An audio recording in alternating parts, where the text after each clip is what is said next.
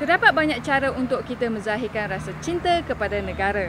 Ia boleh dilakukan pada bila-bila masa, bukan sahaja pada hari kebangsaan. Antara caranya melalui sukan. Sejak dahulu, sukan dikatakan mampu memainkan peranan yang penting dalam menghentikan peperangan dunia.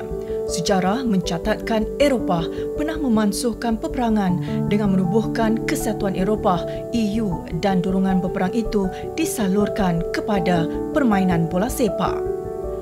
Acara sukan Olimpik misalnya berkait rapat dengan usaha untuk mewujudkan perdamaian di Yunani Purba di mana ketika itu kota-kotanya sentiasa berperang di antara satu sama lain.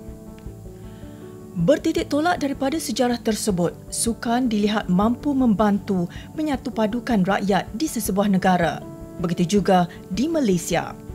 Umum mengetahui Malaysia terdiri daripada pelbagai kaum hasil penjajahan kuasa asing suatu ketika dahulu. Bagi memupuk perpaduan antara kaum ini bukanlah perkara yang mudah. Namun, melalui sukan, semua bangsa bersatu untuk mencapai satu matlamat iaitu mengangkat nama Malaysia di persada antarabangsa.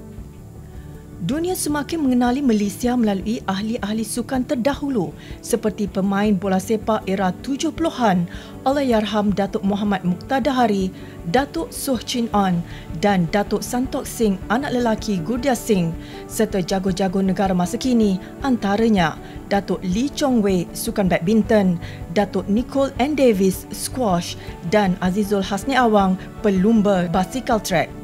Sukan juga membuat rakyat Malaysia bangkit bersama dalam banyak perkara. Contohnya setia menyokong atlet-atlet negara yang mengambil bahagian di temasya sukan berprestij Sukan C ke-29 yang sedang berlangsung di Kuala Lumpur dan penganjurannya kebetulan berlaku pada bulan kebangsaan. Sukan sangat penting sebab uh, bila kita bersukan dan bila, bila kita menyokong uh, atlet kita, uh, kita tidak kita lupakan semua uh, perbezaan antara kita dan sukan ini adalah medan yang terbaik bagi penyatuan negara kita sebab itu kita pilih tema bangkit bersama yang saya rasa sangat-sangat sesuai dengan uh, dengan bulan kemerdekaan ini. Bulan ini kita ada dua uh, dua event yang mustahak. Nombor satu, uh, SEA Games. Dan in conjunction, bila SEA Games habis, kita ada Hari Merdeka. So this is something very unique, never happened before. And I think uh, it both brings unity to the country. Merdeka, we know it's always celebrated every year, 31st August. It brings a lot of unity in, among all the races. All of us value, appreciate what Merdeka is, especially coming from my generation. We came up in the Merdeka way. I think if you look in the Olympics, we have a participation of all the races. When we went to the Olympics, we have the I mean the Chinese, Malays and Indians. Nobody in that country say this is a Chinese or this is a Malay. They say this is from Malaysia. This team is from Malaysia. Lee Chong Wei is from Malaysia. Uh, is from Malaysia. So that has brought our credibility to very high international standard. And I think the world respects us, uh, especially coming in sports. They see that all the races are coming together uh, which has given us a very good standing in the world international community in either in IOC or FIFA or MAC or all the international bodies. They always look at Malaysia as one race one community. It's a very good example for other countries who are having so much a problem. They should bring sports to unite the races. I think it's very important for now uh, every year before Merdeka we should have one major sports event. So that will also supplement help to understand what Merdeka is all about. Bagi ahli sukan yang pernah mengharumkan nama Malaysia, pengalaman mewakili negara dalam acara sukan di peringkat antarabangsa adalah suatu pengalaman yang sukar dilupakan dan ia menyuntik semangat patriotisme yang tersendiri. Sports unite people, both young and old, both as spectators as well as participants, regardless of race, status, or political affiliation. As a participant, people come together as a team to represent their club, their state, or their country. As a spectator, people come together to cheer for their favorite sports person, their team or their fellow countrymen. As an athlete, it was an honor and a privilege to represent Malaysia in international competitions. Especially on the podium when receiving a medal, I always felt very teary when hearing the national anthem being played. I left Malaysia as a young child to pursue my swimming career. So whenever I came to Malaysia for competitions, it was always very heartwarming to feel the support of the Malaysian public. As an athlete, we come together as a team with a, with a common goal to win medals for a country. So therefore, before the competitions start, we are usually very focused on what we need to achieve. However, when the competitions end, we're a bit more relaxed. In fact, after one of the SEA Games, after the swimming events ended, some of the Malaysian athletes came together to celebrate by having a durian party.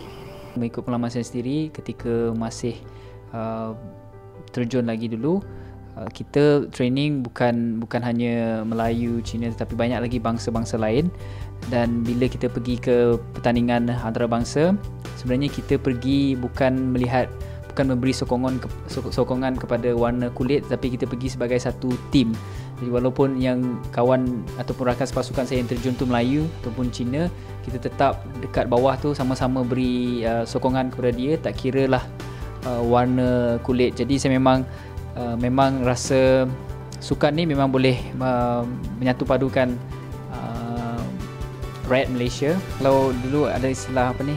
Bendera di dada. Sebenarnya kalau dulu kalau uh, ber, saya uh, berjuang ataupun mem- represent negara saya dalam sukan antarabangsa sukan olimpik sukan SEA sukan Asia mana-mana sukan antarabangsa pun memang kita letak Malaysia tu uh, paling atas sekali kerana terjun bukan terjun yang pertama ialah mewakili Malaysia.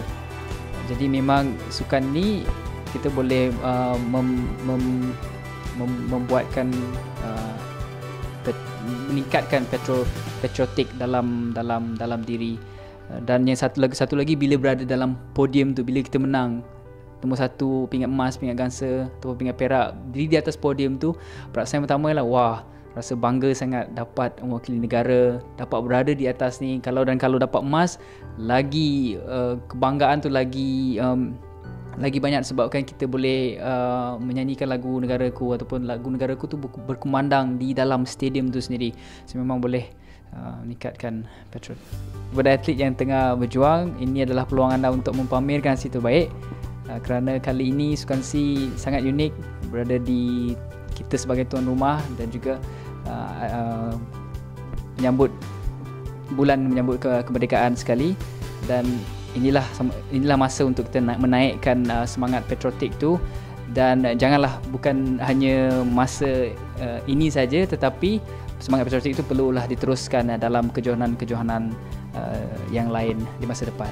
When I won the Thomas Cup, we are really really work very hard, eat together, sleep together, and in one team. So I also important that I advise the whole Malaysian that also same uh, we are one Malaysia. We don't. We must be united. So that's the way that we can show that uh, the whole world that we are Malaysian. Justru bagi rakyat Malaysia yang sayangkan keamanan negara, inilah masa yang sesuai untuk anda terus menyemai semangat perpaduan dan cintakan negara dengan sama-sama memberi sokongan padu serta semangat kepada atlet-atlet Malaysia yang bertungkus lumus mengerah keringat demi mengangkat maruah negara agar terus dihormati dan dipandang tinggi oleh negara luar. Bersempena Hari Kebangsaan pada 31 Ogos 2017, Sukan Si Kuala Lumpur ini dilihat sebagai medium penting dalam kesepaduan bangsa Malaysia bagi mengekalkan keharmonian negara. Ayuh, bangkitlah bersama demi negara tercinta.